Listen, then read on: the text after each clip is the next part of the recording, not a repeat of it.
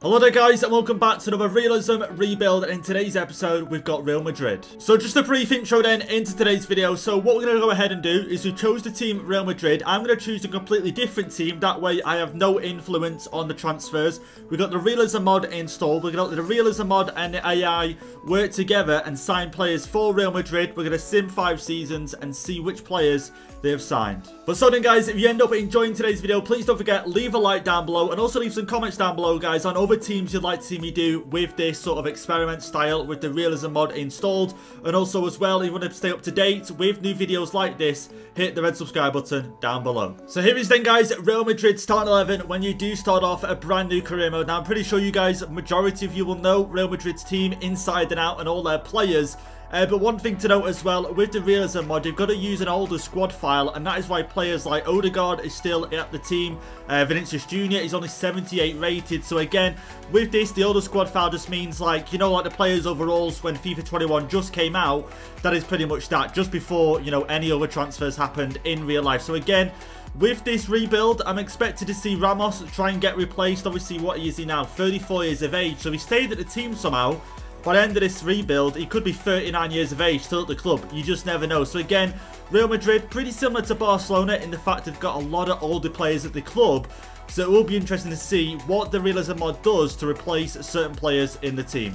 And just to show you guys then as well that we have got the realism mod installed on this save. You can see here we can go over now. We've got an injury list. So we can also edit kit numbers in this sort of different layout here as well. And I'll show you guys the transfer budget that Real Madrid would start off with which is 60 million, guys. But again, you got loads in the wage, so you can literally move it all over the other way, and you've still got a ridiculous amount of money to spend. But let's go ahead then, guys. Let's back out of this career mode, start a new one with a completely different team. Let's sim five seasons with this mod installed and see what team comes out at the end of it. So here we are then guys, July 2025. Let's go ahead right now. I've gone ahead and applied for the Real Madrid manager role. So as you guys can see, we're going to go ahead right now, take the job, and see what team does away. So here we are then, guys. We're at Real Madrid right now. Five seasons in. Let's take a look at this team, what you guys all been waiting for. Let's have a see. And wow, okay. Richarlison starting up front. Ziyech in midfield. Odegaard still at the club. Samuel Umtiti in the centre-back position. And Courtois still in goal. Let's just get straight into this. So Vinicius Jr., 93 rated, guys. Wow, okay. So you definitely put a lot of trust in him. Eden Hazard still at the club. Isco still at the club here. Obviously got a few youth players coming through as well. This guy doesn't look too bad, let's be honest here. Um, but Gabriel Jesus at the club as well. Uh, any other big standout players? Okay, Harvey Barnes at the club. Not a bad signing at all, Harvey Barnes. Um, anyone else? Anyone else? Luis Alberto, 82 rated now though, so I'm guessing, yeah, 32 years of age. He's getting on a little bit right now. Fernandez, not too sure who this guy is, but again, 85 rated, 26 years of age, approaching his prime, 5 foot 5 Uruguay. Okay, never really heard of him. And okay, that is going to be it for this team. There's a lot of players in here, guys, who I did not expect. And one of them being Richarlison up front. And wow, okay, what a signing. 88 rated. He is in his prime right now, 28 years of age. And okay, guys, what do you guys think so far of this team? And Mental. Absolutely mental. Again, Ziyech in midfield. Didn't really take a look at him. This guy at centre-back, though, must be a youth player that's come through, or just a free agent, maybe, or I'm not too sure. He's 33, though. Okay, we have Luis Felipe that we can play at centre-back. He's 85 rated, so him and Umtiti. So, again, Umtiti, surprise signing, 31 years of age. He's joined the Real Madrid. Mendy still at the club as well, and Courtois still at the club. They haven't signed any other goalkeepers. They've kept him at the club. So here you guys can see then, I've gone ahead and put what I think is the strongest starting 11 together. So again, there hasn't really been any changes to the first team, let's be honest. It was strong as it was, and he moved further and further down the reserves, and there's so many players here I didn't even know. Like Pellegrini, he just seemed to have popped out of nowhere, I didn't even know he signed him. Um, but again, like I said, I think this is the strongest Real Madrid team I can do with the players. Now, ideally, I would have Pellegrini playing at CDM just for the higher overall. He does say he can play there, but when I play him there, he just gets a minus 5, guys. And there's nothing I can do about that. He still gets it either way. So I think we'll go back to what we had. So yeah, again, I think this is the strongest team. Some amazing signings in here. You guys have to let me know down below in the comments what you rate this team out of 10. Like say in that in that Barcelona one we did, again it was a little bit questionable. A few older players signed in there, but Real Madrid this in this one I've just really gone ahead and developed a really, really good team. And again, not only have they developed Vinicius Jr., They've kept some of the older players in here as well, like Courtois, like Casemiro into the team. Odegaard developed here as well. Uh, Asensio still at the club, and obviously some other players as well. So, what we're going to do right now, guys, is we're going to go ahead and we're going to sim to the end of this season and just see what this team can win. So let's go ahead then, guys. Now we have simmed to the end of this season. Let's take a look at Real Madrid. And with the team that they managed to build over the five seasons, did they manage to win anything in this one season? So let's go ahead Let's check out the, I think let's check out La Liga first, then we'll work our way down. So La Liga finished in third place. Wow, okay, quite a way behind Atletico and Barcelona there on 84 points. Eight losses this season, not too great, I got to be honest, guys. Atletico winning La Liga. And um, let's move down now, Super Copa and okay, Real Betis actually winning in the final. Real Madrid getting knocked out in the semi-finals, only 1-0 to Atletico Madrid, obviously Madrid rivals. Uh, Copa del Rey, come on, we got to win. What? Lost in the final of that as well. To Atletico Madrid semi-finals beating Sevilla, but losing in the final, guys. Okay, so that's three competitions.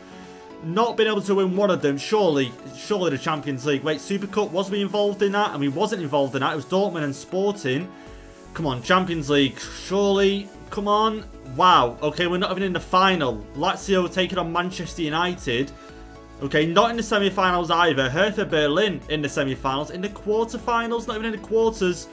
Round of 16, come on. Okay, so we made out of the group. So we got knocked out in the round of 16 to Manchester United, beating us 5-3 over the two legs, guys. Wow, okay, so out of the four trophies that was available, we haven't won any. We haven't won anything this season, even though Real Madrid have built this amazing team that it looks like. Um, in the group stage, we had Spurs, Club Brugge, and okay, we made it second out of the group. Got to be honest, expected them to finish first.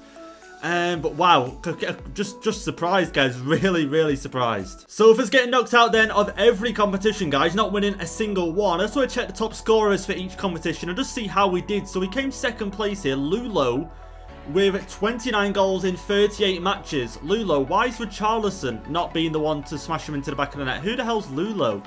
Is he the guy on the bench we seen? Okay, he's not on the bench. Is he on the reserves? Lulo? Has he left the club? Lulo, here he is. He does look like a good player, don't me wrong. 80 rated though. Surely Richarlison should have been playing ahead of him unless Richarlison got injured. Uh, there's something I wouldn't know about. Uh, let's carry on down. Let's have a see now. Super Copa didn't manage to score a single goal. Copa del Rey, Lulo again. So, okay, you got Asensio there with three goals in five games. Champions League, do we have any top scorers here? Lulo, once again, six goals in eight matches. So I don't know what's gone on, gone on here. I'm guessing Richarlison has been injured somewhere along the line um, because there's no reason why he shouldn't be playing instead of Lulo. But I'm going to guess that's maybe the reason that Real Madrid just haven't been able to get through in any of these finals uh, you know, win any of these finals in any of these competitions. But there we go then, guys. That's going to be it for this video. I hope you guys have enjoyed it. And like I say, it's a shame that this Real Madrid team just couldn't win anything this season.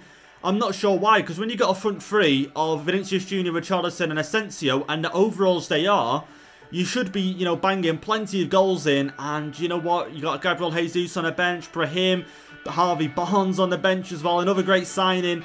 I'm very surprised that I didn't see some of these other players on the top scorers as well. Uh, moving on into the midfield, if I was Real Madrid, I would have done would have done just a little bit better of a job of replacing a CDM role because as you can see, Casemiro injured at the moment, also gone down now to 79 rating. So I think they should have definitely replaced him a little bit more, or at least maybe developed Pellegrini into a CDM because it does say you can play CDM. Like I say, you play him there, he gets a minus five. So I would have maybe put a development plan on him to get him into a CDM role because I think he could have maybe developed and you know been a good CDM for the club uh, the back line, to be fair, not much of a problem. You haven't really replaced Sergio Ramos, if I'm going to be honest. Um, Umtiti, pretty bizarre signing, if I'm going to be honest They Expected, you know, maybe a Pau Torres, a Jules Koundé in this sort of position. Uh, but nowhere to be seen. And I also think as well the goalkeeper position, Courtois, I think, you know what, how old is he now? 34 years of age. I think as soon as he started to decline, I would have maybe brought in a new goalkeeper. But you guys let me know down below what you rate this team out of 10. But there we go then guys, that's going to be it for this video. If you guys have enjoyed it, please don't forget, leave a like down below on the video if you want to see more of these. And also don't forget, leave a comment as well on what other teams you guys would want to see me do. I did see another comment on the last episode about doing Manchester City. I'll definitely look at doing them next. And like I said guys, if you're not subscribed already, hit the subscribe button so you can see more videos like this.